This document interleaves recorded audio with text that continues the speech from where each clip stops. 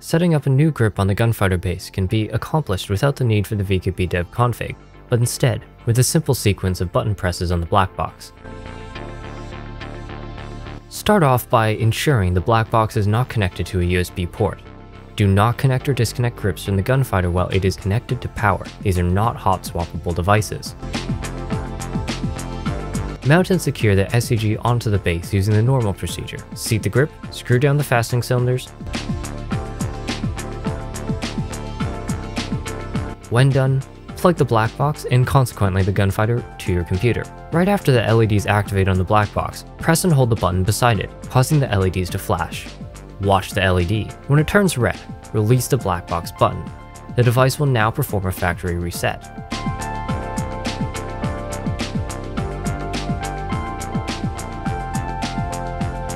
After the black box resets and restarts, press and hold the button for just 2 to 3 seconds this time. Release the button when the LED is flashing red and blue. The black box will read the grip and apply the proper default configuration before restarting again. Once the black box is back online, press and hold the button for 2 to 3 seconds yet again, releasing the button yet again upon seeing the flashing red and blue light. This time instead of restarting, the device will be put into calibration mode, as seen by the persistent blinking blue on the black box.